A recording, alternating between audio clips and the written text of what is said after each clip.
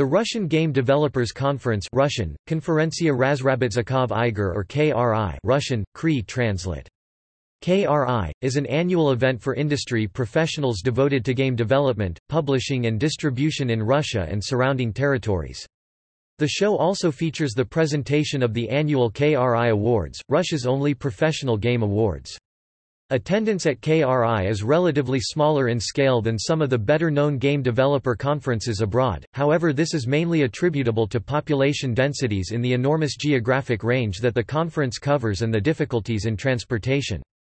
Current Russian distribution video game networks are often plagued by software pirates, however with the dawning of digital distribution and Russian anti-piracy legislation KRI has grown each year to accommodate remote attendance and to establish and entrench anti-piracy measures. Since its inception in 2003, KRI has quickly become established as Russia's leading video game trade show, offering developers a unique chance to share experience, meet colleagues and communicate their ideas and works to the professional public.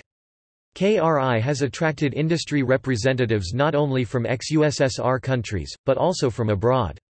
Every annual KRI has been attended by renowned game developers that are known across the planet.